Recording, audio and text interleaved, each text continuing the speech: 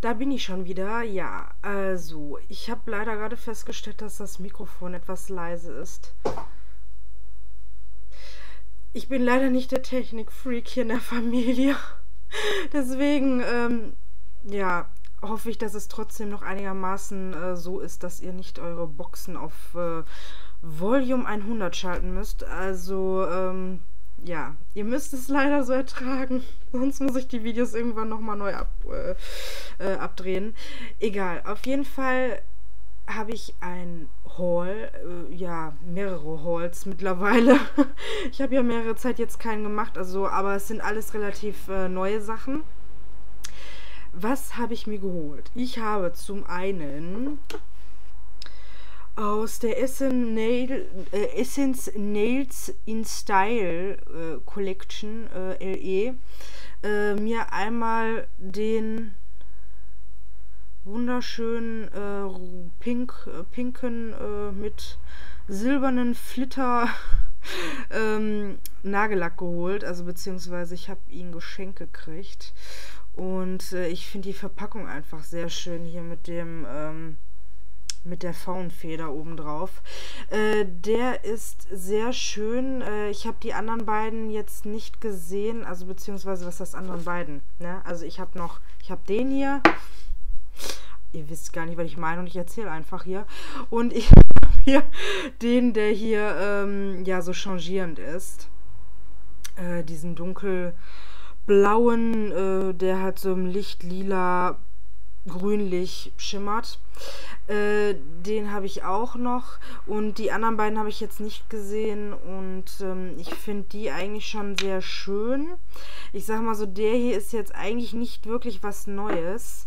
Äh, der hier auch nicht so wirklich, aber ich finde diese pinke Farbe eigentlich ganz schön, ganz nett und ich glaube, das war auch von allen der begehrteste. Also äh, das war der, der glaube ich auch am ehesten weg war. Und äh, was ich sehr interessant finde, Leute, das ist, äh, ja, äh, ich weiß nicht, ob ihr es mal äh, ja schon getestet habt für die Leute, die den haben. Äh, und zwar hat der so extrem starken Mini-Mikro-Glitter innen drin. Äh, ich hatte den mir drauf gemacht auf die Nägel und äh, testeshalber und wollte den mir abends dann wieder abmachen, weil ich eigentlich was anderes drauf lackieren wollte. Und dann bin ich nur einmal kurz mit dem Wattepad über den Nagel gegangen und ich hätte es ich hätte es mal so lassen sollen. Es sah nämlich richtig geil aus, weil die Farbe auf einmal weg war, aber dieser Mikroglitter, der blieb. Leute, wer diesen Nagellack hat, ne, probiert das mal aus. Das sieht irre geil aus. Also es sieht wirklich geil aus. Ich glaube, beim nächsten Mal werde ich absichtlich meine Nägel so, äh, so stylen, in Anführungsstrichen. Kann man das so nennen? Ist das eine neue Form äh, des Stylens? Äh, halb ablackiert? Ähm, ja, ich weiß es nicht, vielleicht wird das mal der neue Trend oder so. Äh, es sieht aber einfach nur geil aus, weil dieser silberne, feine Glitter übrig bleibt und ähm, probiert es mal aus und schreibt mir, wie ihr es findet. Also ich fand's phänomenal. Ja, die beiden Sachen habe ich. Dann habe ich noch hier ähm, äh, das Teil mit dieser Transferfolie. Da habe ich das mit diesem, äh, ja, das Dingen, da konnten sich ja viele nichts drunter vorstellen. Ich ehrlich gesagt auch nicht. Und zwar ist es so, man hat hier einmal diese Transferfolie. Ich habe die jetzt hier halt in diesen, ja, äh, halt hier in, in holographisch. Und ähm, dazu kriegt man halt einen Kleber, der halt in diesem Fläschchen hier ist. Und zwar geht das so, man macht sich ähm, ja seinen Lieblingsnagellack drauf und äh, dann kann man je nachdem, wie man halt diese Transferfolie drauf haben möchte. Hier als Beispiel auf der Verpackung ist jetzt halt einfach nur, äh, sind die Tipps nur ange angezeigt, aber ähm, man kann sich das so nach Lust und Laune machen, wie man möchte. Falls man es hinbekommt, äh, mit äh, dem Kleber irgendwelche extravaganten Muster äh, herzustellen. Keine Ahnung, ob man das äh, hinbekommt, weil das einfach nur ein ganz normales Pinselchen wie, ähm, ja, wie beim Nagellack ist. Also demnach kann man da, denke ich mal, jetzt kein, äh, ja, kann man da jetzt kein Rodin drauf malen oder sowas. Aber egal, auf jeden Fall ist es so, man packt sich halt dann den Kleber, nachdem der Nagellack gut durchgetrocknet ist, ähm, auf die Stellen des Nagels drauf, wo man es halt drauf haben möchte. Wartet drei bis fünf Minuten, bis der äh, Kleber halt angetrocknet ist. Ihr müsst aufpassen, der ist sehr gut. Also ich bin äh, da dran gekommen und äh, blieb dann erstmal voll Kanne hängen. Und dann wird halt, ähm, nehmt ihr euch diese Folie und schneidet die zurecht, ähm, ne, so dass die halt über euren Nagel drauf passt. Äh, die ist, kommt nämlich hier als so eine ganz, äh, ja, lange Schlange an. Und die müsst ihr euch halt noch zurechtschneiden. Was ich ehrlich gesagt auch ein bisschen doof finde, weil im Endeffekt, wenn man sich das mal anschaut, bleibt da nicht wirklich viel übrig. Also das kann man, den Spaß kann man vielleicht irgendwie, äh, ja, zweimal mit allen zehn Fingern, die man hat, machen. Und dann müsste man sich von dieser Folie auch wieder Neues kaufen, wenn man das wirklich äh, haargenau so zuschneiden will, dass es über den ganzen Nagel passt. Ja, auf jeden Fall, wie gesagt, ähm, habt ihr dann hier den Kleber drauf, packt diese Folie auf den Nagel und rubbelt die halt irgendwie 30 Sekunden lang da drauf und nach 30 Sekunden zieht ihr das ab und ähm, ja, dieses holographische Muster bleibt halt von dem Papier auf dem Nagel hängen und zurück bleibt einfach nur, ähm, ja, Klarsichtfolie, keine Ahnung, auf jeden Fall klares äh, Geschenkpapier oder was das auch immer hier ist. Ja, so läuft das Ganze ab. Die Idee fand ich nicht schlecht, ich habe es auch ausprobiert. Es sieht, es sieht gut aus, das muss ich sagen, es sieht wirklich gut aus. Das Problem ist halt einfach nur, ähm, ja, dass ich das äh, nur einen Abend lang hatte drauf hatte, weil äh, ich dann an diversen Stellen mit meinem Daumen irgendwo dran hängen blieb und ähm, anscheinend schien der ich weiß nicht, ob es an dem Kleber lag, dass der noch nicht wirklich durchgetrocknet war oder so. Auf jeden Fall kam der Kleber durch, ähm, nachdem die Transferfolie, ich, ja, die dann irgendwo abgeschabt hatte oder sowas. Bin irgendwo hängen geblieben, keine Ahnung. Auf jeden Fall war der Kleber dann äh, knockt und ähm, ja, und dann ist man halt überall irgendwo mit dem Kleber irgendwo hängen geblieben und das sah dann halt nicht mehr schön aus. Man hatte dann irgendwelche Flusen an, an den Fingern, weil das halt dran klebte an dem, an dem Kleber und ähm, es sah halt nach einer gewissen Zeit einfach nicht mehr wirklich schön aus. Und das fand ich halt schade, weil die Idee ist halt nicht schlecht, ne?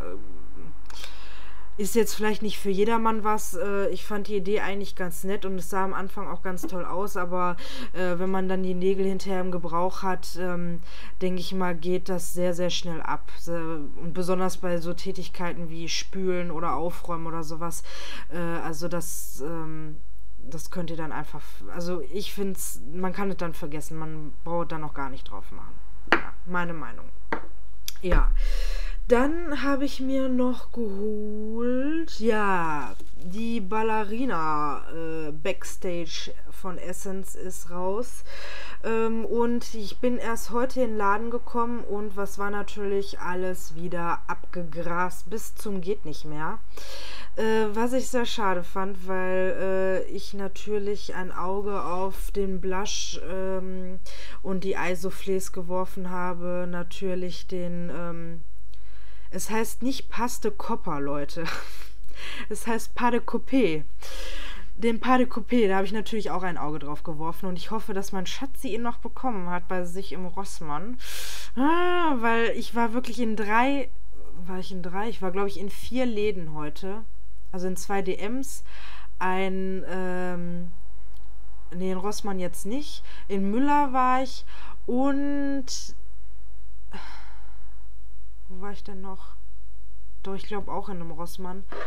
Boah, und es war alles abgegrast. Es war echt, also wir hatten Gott sei Dank Tester gehabt von den Soufflés was viele ja, wie ich gehört habe, nicht hatten. Ähm, ja, und es waren halt nur noch die Tester übrig und äh, die waren halt so angegrabbelt, da. Uch, nee, das hätte ich nicht mitnehmen können. Dann habe ich gesehen, dass die bei uns halt ähm, äh, im DM noch den Lipgloss, das war wirklich der einzige, den sie noch hatten, ähm, den hatte ich mir mitgenommen. Das ist der 02 On Your Gracile Tip Tiptoe, Tiptoe. Ähm, den fand ich sehr schön. Ich finde die Verpackung auch einfach genial mit dieser Spitze. Das ist echt klasse. Und was ich wirklich lobenswert finde, ist, äh, dass ähm, es ein ähm, einen Pinselapplikator hat.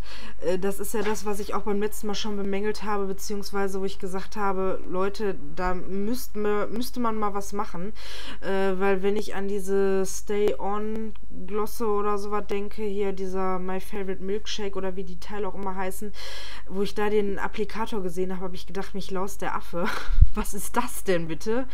Äh, ja, und ich glaube, da sind viele meiner Meinung dass das nicht wirklich gut gelungen war. Ja, wie gesagt, es gab nur den. Und beim Hinausgehen habe ich in einer ganz versteckten Ecke auf einmal noch alle drei Lipglosse von jedem einen entdeckt, die halt in irgendeinem so komischen Display standen, was eigentlich gar nichts da zu suchen hatte. Und dann habe ich mir natürlich noch den äh, 01 Wear Your Little Tütü mitgenommen, weil ich die Farbe einfach, äh, die ist einfach sehr, sehr schön. Ich finde die wunderbar. Und ähm, ja, die Sachen habe ich mir mitgenommen und ich hoffe natürlich, Schatzi, bitte melde dich bald. Ich will wissen, ob du die anderen Sachen gekriegt hast. Weil äh, auf die Soufflé-Klamotten bin ich wirklich sehr, sehr gespannt. Auch auf den äh, Blush, auch wenn der, ähm, ja, ich sag mal so zu hm, 80 Prozent eher negativer Natur äh, behandelt wurde, sage ich jetzt mal so. Aber ich bin da trotzdem sehr gespannt drauf. Dann habe ich noch was entdeckt und zwar nennt sich das Flash Gloss Shine On von, ich weiß jetzt nicht, ob da hier nur Lipgloss draufsteht oder ob das halt die Marke ist. Äh, irgendwie sowas No-Name-mäßiges ist mir, ich glaube, sowas gab es vorher noch nicht. Die hatten da halt so einen Ständer da, also so eine Palette da stehen gehabt. Ein Lipgloss, den ich sehr, sehr schön finde. Den habe ich auch gerade drauf. Finde ich äh, sehr phänomenal. Hat knapp 4 Euro gekostet, also 3,95. Hat hier so ein kleines Spiegelchen. Hallo. Hat ein kleines Spiegelchen und erstmal ist die Farbe hammergeil. Ich liebe die einfach, weil ähm, die ist so schön natürlich. Das ist so ein äh, schöner Nude-Ton mit ähm, Nude, Nude-Ton mit äh, ganz feinem Schimmer aller. Ähm, ja, wo habe ich es jetzt?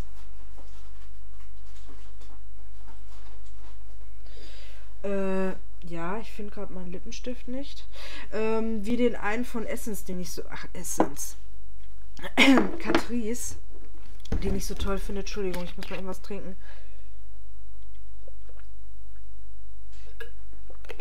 Ich hatte jetzt gerade irgendwas im Halse.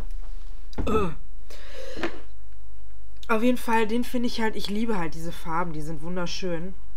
Müsst ihr euch unbedingt mal angucken. Also die gibt es halt momentan bei DM. Und äh, das Tolle ist, die heißen halt äh, Flash Gloss nicht umsonst, weil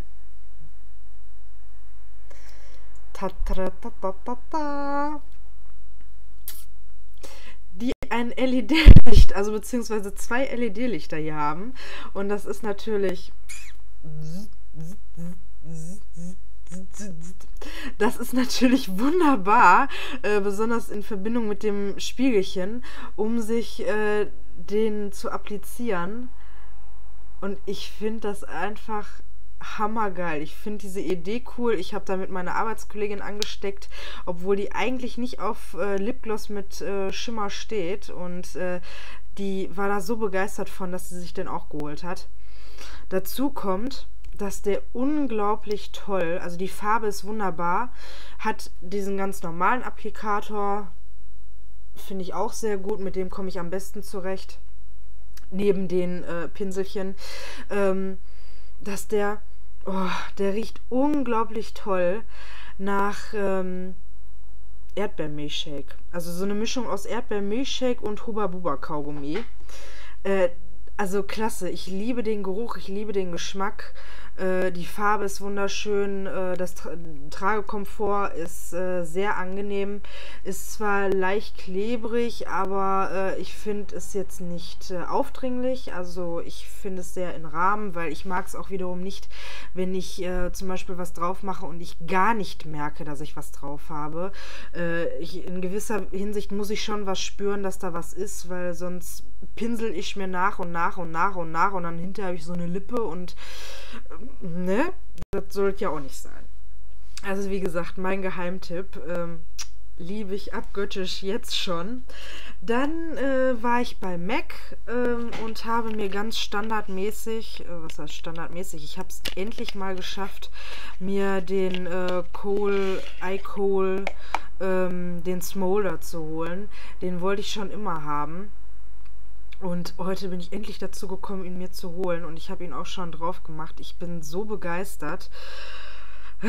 Nee, also äh, absoluter Favorit jetzt schon. Ich weiß gar nicht, warum ich den mir nicht schon eher geholt habe. Dann super süß. Ich habe nach dem äh, Miss gefragt äh, von Mac. Äh, der ist momentan super ja, schwer zu bekommen. Der ist bei uns ausverkauft und äh, wundert mich überhaupt gar nicht. Äh, dafür habe ich ein Trostpflaster bekommen. wurde mir mit in die Tüte eingepackt. Das fand ich, da war ich, also da kann man ja alles andere in die Tonne kloppen dagegen. Ich war so begeistert. Und zwar habe ich einen Hello Kitty Lipgloss bekommen. Oh nein, ich bin so begeistert. Wo hatten die den noch? Also, ähm, wo ich gehört habe, dass es äh, Hello Kitty LEs gab oder ich glaube ja mittlerweile gab es da schon mehrere. Ähm, das war einfach nicht meine Zeit. Da kannte ich damals Mac noch nicht. Deswegen ist das einfach an mir vorbeigezogen und äh, ja, weine dem immer noch hinterher, dass ich es nicht eher entdeckt habe. Und äh, ich bin einfach so total begeistert. Da ist sie. Also wunderbar. Die Farbe hat was von äh, dem Fortabulous, von dem Dazzle Glass und ist einfach wunderschön. Hier steht äh, Fast Friends. Ich weiß jetzt nicht, ob das irgendwie die Farbe sein soll, keine Ahnung. Äh, auf jeden Fall, ich bin so begeistert. Ich finde das so niedlich. Also, da, äh, die hätte mir, äh, weiß nicht, zehn andere Lip Lippenstifte reinlegen können. Ich hätte mich nicht so über die gefreut wie über das Teil hier. Also, Hammer. Hammermäßig. Also, echt. Dann habe ich noch ähm, halt bei Kiko gemacht. Und da habe ich mir einmal, was ich schon immer haben wollte, das Matte Fluid geholt. Ähm, hatten sie diesmal sogar, wo ist der Bon? runtergesetzt gehabt. Das kostet, glaube ich, irgendwas normalerweise um die 11 Euro. 11,20 Euro oder, also über 11 Euro. Und hat nur 8,30 gekostet. Und da habe ich mir gedacht, das nehme ich auf jeden Fall mit. Da freue ich mich auch sehr schon drauf, das zu benutzen. Dann habe ich mir einen Cream Eyeshadow geholt, weil die momentan nur 1 Euro kosten bei Kiko. Und ich habe mich für die Farbe 02 entschieden. Hat die überhaupt irgendwie einen Namen oder sowas? Äh, Cream Eyeshadow 02. Auf jeden Fall, das ist der, ähm, der weiße. Weil mir fehlt irgendwie noch so eine weiße, weiße Base. Und, äh, das fehlt mir irgendwie noch und, Orion, du nervst. Geh runter. Ab. Ab. Komm. Husch dich. Und lauf mir nicht vor die Linse.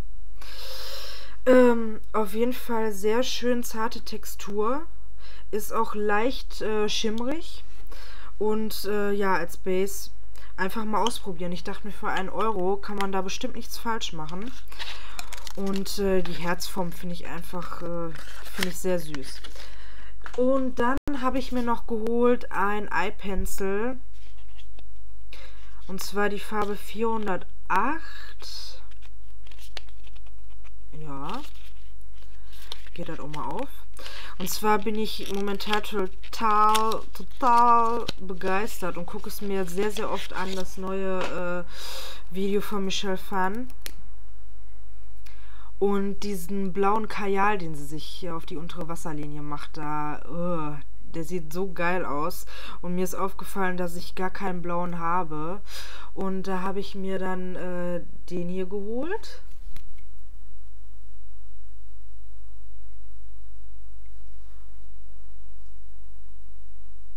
Ist sehr schön weich, lässt sich gut auftragen. Ja, und ich bin einfach mal gespannt. Das ist jetzt mein erster äh, Kajal von Kiko. Ich werde mal austesten, wie die sich so verhalten und dann äh, gebe ich euch am besten nochmal Bescheid. Also das ist Glamorous Eye Pencil äh, 408. Hm, ja. 408. Die haben noch zwei andere Blautöne gehabt, aber ich wollte jetzt natürlich so einen schönen, so einen Strahlblau haben und habe mir den mitgenommen. Deswegen werde ich einfach mal gucken, ja, wie der sich so verhält. Und ähm, ja, das war's jetzt mit Schminki Schminki. Das war mein Haul und äh, ja, ich hoffe, ich habe nichts vergessen. Und selbst wenn, dann habe ich jetzt Pech gehabt. Egal. Bis dann. Tschüss.